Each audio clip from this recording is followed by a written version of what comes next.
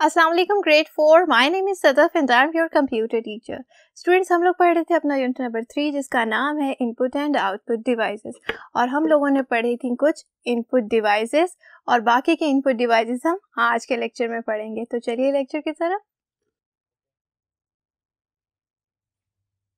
जी students तो हम लोग पढ़ रहे थे इनपुट डिवाइसेस के बारे में और हमने बात की थी कि इनपुट डिवाइसेस क्या होती हैं, ऐसी डिवाइसेस जो कि आप लोग इस्तेमाल करते हैं कंप्यूटर को इनपुट देने के लिए। और इनपुट क्या होती है स्टूडेंट्स जी इनपुट होती है वो डेटा और इंस्ट्रक्शंस जो कि आप लोग कंप्यूटर को देते हैं कि जिस पर वो प्रोसेसिंग करे और आप लोगों को आउटपुट शो करे। तो स्टूडेंट्स हम लोगों ने पढ़ी थी कुछ इनपुट डिवाइसेस जैसे कि ट्रैक बॉल कीबोर्ड माउस और जॉयस्टिक तो स्टूडेंट्स बाकी के इनपुट डिवाइसेस के बारे में हम आज पढ़ने वाले हैं, जो कि क्या है? Light pen scanner microphone and barcode reader तो स्टूडेंट्स चलिए फिर शुरू करते हैं और देखते हैं कौन सी इनपुट डिवाइस के बारे में हम आज पढ़ने वाले हैं। जी स्टूडेंट्स तो आज हम जिस इनपुट डिवाइस के बारे में पढ़ने वाले हैं, उसका नाम है माइक्रोफोन स्टूडेंट्स माइक्रोफोन किस लिए यूज़ होता है? आप लोगों को पता है? माइक तो सुना होगा ना सबने? जी, माइक क्या है स्टूडेंट्स माइक है माइक्रोफोन की शॉर्ट फॉर्म जी स्टूडेंट्स माइक क्या करता है? माइक आपकी वॉइस को रिकॉर्ड करता है और कंप्यूटर को इनपुट देता है। क्या इनपुट देता है? आपकी वॉइस की रिकॉर्डिंग की इनपुट कंप्यूटर को देता है। तो स्टूडेंट्स चलिए इसकी डेफिनेशन देख लेते हैं। It is use to input and record voice to the computer यानी कि आप लोगों की वॉइस को रिकॉर्ड करने के लिए और कंप्यूटर को इनपुट देने के लिए हम लोग क्या यूज़ करते हैं? हम यूज़ करते हैं माइक्रोफोन्स स्टूडेंट्स आप लोगों ने हेडफोन्स तो यूज़ किए होंगे ना? उनमें स्पीकर्स भी होते हैं और उसके साथ माइक्रोफोन्स भी होते हैं। यानी कि आप लोग स्काइप वगैरह पर बात करते हैं ना? अपने रिलेटिव से जो आप लोगों से दूर रहते हैं। तो स्टूडेंट्स हम वो किस तरह से बात करते हैं? हम हेडफोन्स लगाते हैं जिनमें क्या होते हैं? स्पीकर्स होते हैं और उसके अलावा माइक्रोफोन्स होते हैं। माइक्रोफोन्स के ज़रिए हमारी वॉइस रिकॉर्ड होती है और कंप्यूटर के ज़रिए वो कहाँ जाती है? दूसरे पर्सन के स्पीकर्स में जाती है। तो स्टूडेंट्स इस तरह से काम करते हैं माइक्रोफोन्स आप लोग पिक्चर देखिए। जी स्टूडेंट्स ये पिक्चर में आप लोगों को क्या नज़र आ रहा है? ये है एक माइक्रोफोन जी स्टूडेंट्स चलिए आगे देखते हैं कौन से इनपुट डिवाइस के बारे में पढ़ेंगे हम। नेक्स्ट है स्कैनर स्कैनर क्या करता है? स्कैनर चीज़ों को स्कैन करता है। अब वो किन चीज़ों को स्कैन करता है, चलिए देखें। It reads and scan the text and pictures ये टेक्स्ट और पिक्चर्स को स्कैन करता है, जो कि होती हैं गिवन ऑन द पेपर तो स्टूडेंट्स पेपर के ऊपर जो आप लोगों के पास पिक्चर्स और टेक्स्ट होते हैं, उनको हम स्कैन करते हैं किसके थ्रू स्कैनर के थ्रू ठीक है? अब वो स्कैन हम लोग क्यों करते हैं? स्टूडेंट्स आप लोगों को पता है कि हार्ड पेपर पर जो भी चीज़ लिखी हुई है, वो आपका कंप्यूटर नहीं पढ़ सकता। तो स्टूडेंट्स हमें फिर क्या करना पड़ता है? कंप्यूटर की अंडरस्टैंडिंग के मुताबिक अगर हम उसे चेंज करना चाहते हैं तो हम क्या करेंगे? उस पेपर को स्कैनर में रखेंगे और स्कैनर क्या करेगा? उस पेपर को रीड करेगा। ठीक है? उसे रीड करेगा और इनपुट देगा हमारे कंप्यूटर को। तो स्टूडेंट्स वो जो फ़ाइल स्कैन हो जाती है कंप्यूटर में, उसको आप लोग बाद में सेव भी कर सकते हैं, उसे हम स्टोर कर सकते हैं ताकि आप लोगों को बाद में भी काम आ सके। चलिए स्टूडेंट्स आगे देखें। यहाँ पर मेरे पास लिखा है into computer understandable text and pictures अभी स्टूडेंट्स हम लोगों ने बात की है कि स्कैनर क्या करता है, आपके पेपर पर दी गई इंफॉर्मेशन जो है, उसको वो क्या करता है, ऐसी टेक्स्ट और पिक्चर्स में चेंज कर देता है जो कि हमारा कंप्यूटर समझ सकता है। ठीक है? नेक्स्ट देखिए। They can be stored in computer तो स्टूडेंट्स अब ये जो इंफॉर्मेशन है, जो कि कंप्यूटर समझ सकता है, वो हम लेटर ऑन यूज़ के लिए हम क्या कर सकते हैं? उसे अपने कंप्यूटर्स में स्टोर कर सकते हैं। ठीक है? जी स्टूडेंट्स तो एक बार अगर हमने उसे स्टोर कर लिया है तो उसके बाद हमें उस पेपर को बार बार स्कैन करने की ज़रूरत नहीं पड़ेगी और हम वही स्टोर्ड इंफॉर्मेशन जो है, वो यूज़ करते रहेंगे। तो स्टूडेंट्स स्कैनर्स होते हैं दो टाइप के। एक होते हैं फ्लैट पैड और एक होते हैं hand held students flat bed scanners कैसे होते हैं? जी पिक्चर में देखिए। जी स्टूडेंट्स ये है एक फ्लैट पेड स्कैनर और ये जो स्पेस आप लोगों को नज़र आ रही है स्टूडेंट्स इसमें हम पेपर रखते हैं और फिर हम इसे बंद कर देते हैं ताकि हमारा स्कैनर जो है वो पेपर पर मौजूद टेक्स्ट और पिक्चर्स को स्कैन कर सके। जी स्टूडेंट्स अब दूसरे पिक्चर देखिए। जी स्टूडेंट्स ये क्या है? ये है हैंड हेल्ड स्कैनर ठीक है? चलिए देखिए अब नेक्स्ट इनपुट डिवाइस कौन सी है। जी स्टूडेंट्स तो सेकेंड लास्ट इनपुट डिवाइस जो कि हम पढ़ने जा रहे हैं, उसका नाम है बार कोड रीडर चलिए देखते हैं बार कोड रीडर क्या होता है। It is use to read bar codes printed on different items in shops students ये क्यों यूज़ होता है? ये डिफरेंट बार कोड्स को रीड करने के लिए यूज़ होता है, जो कि होते हैं शॉप्स में मौजूद डिफरेंट चीज़ों पर। स्टूडेंट्स आप लोगों ने देखा होगा कि जो आप लोग चॉकलेट्स और चिप्स वगैरह खाते हैं तो उसके पैकेट्स पर एक छोटा सा बार कोड बना होता है। वो बार कोड किस तरह का होता है स्टूडेंट्स देखिएगा। वो बार कोड होता है कुछ ऐसा, उस पर होती है लाइंस ठीक है? देखा होगा ना सबने? जी वाइट बैकग्राउंड के ऊपर जो ब्लैक लाइंस होती हैं स्टूडेंट्स उनको हम कहते हैं बार कोड्स तो स्टूडेंट्स इस बार कोड में हो सकती है डिफरेंट इंफॉर्मेशन जो कि होती है उस आइटम के बारे में, जिस आइटम पर यह बार कोड प्रिंटेड होता है। ठीक है स्टूडेंट्स चलिए देखिए आगे क्या है।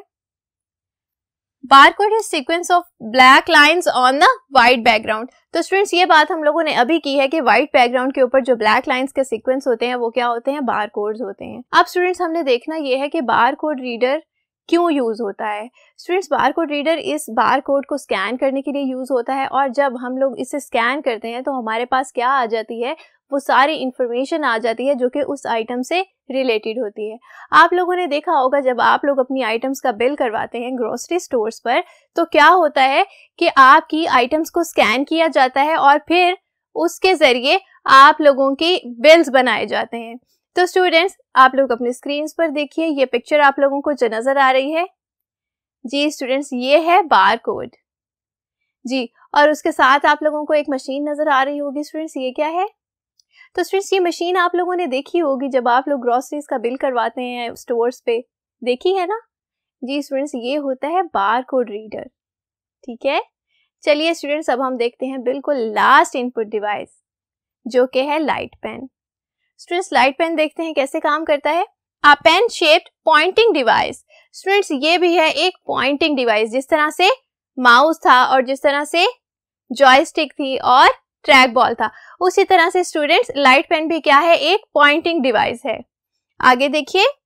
It is connected to the monitor students ये मॉनिटर से कनेक्टेड होती है और स्टूडेंट्स हम लोग क्या करते हैं? लाइट पेन के ज़रिए मॉनिटर के साथ डायरेक्ट कनेक्ट करते हैं। नेक्स्ट देखिए they are usually use to draw students light pen को हम लोग यूज़ करते हैं डिफरेंट ड्राइंग्स बनाने के लिए। इसीलिए ये यूज़ होती है ज़्यादातर कौन यूज़ करता होगा? जो लोग ड्राइंग बनाते हैं कंप्यूटर के ऊपर जैसे कि डिज़ाइनर्स हैं इंजीनियर्स हैं या आर्किटेक्चर्स हैं। तो ऐसे लोग लाइट पेन को ज़्यादातर यूज़ करते हैं अपने कंप्यूटर्स में। आमतौर पर लाइट पेन इस्तेमाल नहीं होते। यूजुअली हम लोग कौन सी पॉइंटिंग डिवाइस यूज़ करते हैं स्टूडेंट्स हम यूज़ करते हैं माउस तो स्टूडेंट्स अगर आप लोग अपने कंप्यूटर्स पर कुछ ड्रॉ करना चाहते हैं तो आपके लिए कौन सी डिवाइस बेस्ट रहेगी? लाइट पेन स्टूडेंट्स अपनी स्क्रीन पर देखिए. जी, ये क्या है? स्टूडेंट्स ये है लाइट पेन और आप लोग देख सकते हैं कि किस तरह से हम लोग इसे अपनी स्क्रीन पर यूज़ करते हैं. तो स्टूडेंट्स ये थी इनपुट डिवाइसेस जो कि यूज़ होती हैं कंप्यूटर सिस्टम को इंस्ट्रक्शंस और डेटा देने के लिए। तो स्टूडेंट्स अब हम देखने जा रहे हैं कि प्रोसेसिंग यूनिट क्या होता है। चलिए देखें। जी स्टूडेंट्स जब हम लोगों ने बात की थी बिल्कुल फ़र्स्ट लेक्चर में कि किस तरह से कंप्यूटर काम करता है।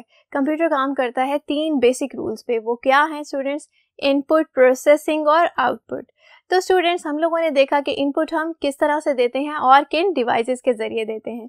अब हमने देखना है कि प्रोसेसिंग के लिए कौन सी डिवाइसेस यूज़ होती हैं। तो चलिए स्टूडेंट्स देखें। प्रोसेसिंग यूनिट प्रोसेसिंग यूनिट क्या होता है स्टूडेंट्स चलिए देखिए। It is known as system unit system unit को हम लोग कहते हैं प्रोसेसिंग यूनिट जो कि हमारी सारी कैलकुलेशंस करता है और डिफरेंट काम करता है, वो क्या होता है स्टूडेंट्स वो होता है प्रोसेसिंग यूनिट यानी कि system unit it does calculations and carries out many other functions तो स्टूडेंट्स ये क्या करता है? ये कैलकुलेशंस करता है, जैसे कि एडिशन सब्ट्रैक्शन मल्टीप्लिकेशन और डिवीज़न और उसके अलावा भी ये हमारी काफ़ी मैथमेटिकल प्रॉब्लम्स को सॉल्व करता है. मैथमेटिकल प्रॉब्लम्स के अलावा भी सिस्टम यूनिट के और भी बहुत सारे काम होते हैं. जैसे कि बाकी डिवाइसेस को मैनेज करना और मेमोरी स्टोर करना. जी स्टूडेंट्स इसीलिए इसको कहा जाता है कंप्यूटर का ब्रेन जैसे कि यहाँ आप लोग देख भी सकते हैं it is known as brain of the computer जैसे हमारे पास ब्रेन होता है और हम किससे सोचते हैं? अपने दिमाग से सोचते हैं ना स्टूडेंट्स हम कैलकुलेशंस कैसे करते हैं? अपने माइंड से करते हैं, अपने दिमाग से करते हैं. तो स्टूडेंट्स उसी तरह से कंप्यूटर भी अपने सारे काम कैसे करता है? अपने ब्रेन से करता है, जो कि क्या है? सिस्टम यूनिट है. तो स्टूडेंट्स सिस्टम यूनिट को हम लोगों ने डिवाइड कर दिया है तीन पार्ट्स में। चलिए देखिए वो क्या पार्ट्स हैं। सबसे पहले है ए यानी कि अरिथमेटिक एंड लॉजिक यूनिट तो स्टूडेंट्स ये यूनिट जो है, ये सबसे इंपॉर्टेंट है क्योंकि ये यूज़ होता है कैलकुलेशंस के लिए। हमारी जितनी भी मैथमेटिकल प्रॉब्लम्स हैं, जितनी भी अर्थमेटिकल प्रॉब्लम्स है, वो सारी कौन सॉल्व करता है? वो ए एल यू सॉल्व करता है। चलिए देखिए। इट डज द कैलकुलेशन ये कैलकुलेशंस करता है। यानी कि एडिशन सब्ट्रैक्शन मल्टीप्लिकेशन और डिवीज़न जैसी जितनी भी प्रॉब्लम्स हैं, वो कौन सॉल्व करता है स्टूडेंट्स वो ए एल यू सॉल्व करता है। चलिए देखते हैं नेक्स्ट यूनिट क्या है। तो नेक्स्ट यूनिट है सी यू यानी कि कंट्रोल यूनिट तो स्टूडेंट्स कंट्रोल के नाम से ही आप लोगों को पता चल रहा होगा कि ये यूनिट क्या करेगा। ये आपके कंप्यूटर की सारी की सारी एक्टिविटीज़ को कंट्रोल करता है। और इसके अलावा आपके कंप्यूटर के जितने भी पार्ट्स हैं, जितने भी इनपुट डिवाइसेस हैं आउटपुट डिवाइसेस हैं, ये उनको बताता है कि उन्होंने किस तरह से काम करना है और उन्हें करता है आपस में कनेक्ट तो चलिए स्टूडेंट्स नेक्स्ट पार्ट देखें क्या है. Memory unit it stores data temporarily तो स्टूडेंट्स मेमोरी के नाम से ही आप लोगों को पता चल रहा होगा कि ये क्या करेगा, ये डेटा को स्टोर करेगा. जिस तरह से हमारी मेमोरी है ना हम लोग चीज़ों को याद रखते हैं, उसको हम क्या कहते हैं? मेमोरी कहते हैं। तो उसी तरह से स्टूडेंट्स कंप्यूटर का ब्रेन जो कि है सिस्टम यूनिट उसकी भी मेमोरी होती है। ठीक है? और उस मेमोरी में वो क्या रखता है? वो टेम्परेरी डेटा को सेव करता है उस मेमोरी में। टेम्परेरी डेटा का क्या मतलब है? स्टूडेंट्स एक दफ़ा आप कंप्यूटर ऑन करते हैं, उसके बाद जो चीज़ें टेम्परेरीली सेव हो रही होती हैं वो सारी सेव होती हैं सिस्टम यूनिट में, ठीक है? और उसके बाद जब आप लोग कंप्यूटर को ऑफ़ कर देते हैं तो वो जो चीज़ें आप लोगों ने सेव की होती हैं, उसकी मेमोरी में वो डिसअपेयर हो जाती हैं वहाँ से। स्टोरेज डिवाइसेस अलग हैं, उनके बारे में हम बाद में पढ़ेंगे, लेकिन ये मेमोरी यूनिट जो है, ये परमानेंटली स्टोर नहीं करता चीज़ों को, ये सिर्फ़ टेम्परेरीली डेटा को स्टोर करता है। ठीक है स्टूडेंट्स तो इस तरह से काम करता है हमारा प्रोसेसिंग यूनिट तो स्टूडेंट्स नेक्स्ट लेक्चर में हम लोग पढ़ेंगे कि आउटपुट डिवाइसेस क्या होती हैं और स्टोरेज डिवाइसेस क्या होती हैं। तब तक के लिए अपना ख्याल रखिएगा स्टूडेंट्स अल्लाह हाफिज़।